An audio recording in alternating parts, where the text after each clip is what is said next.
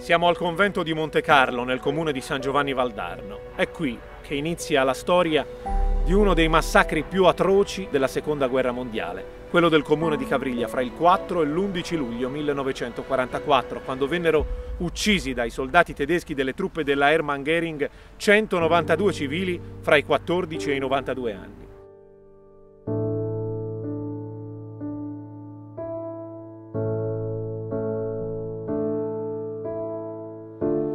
Mi resi conto che, che lì la cosa era, era, molto grave perché il parroco mi disse fra poco saremo tutti in paradiso.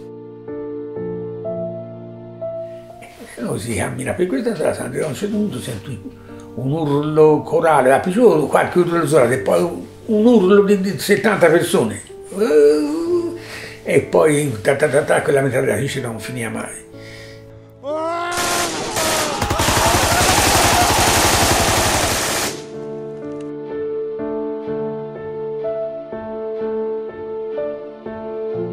Quando poi arrivò la mamma con, con la mia nonna a Laia Melani, ebbe questa espressione. Sembravano una barca di legni bruciati.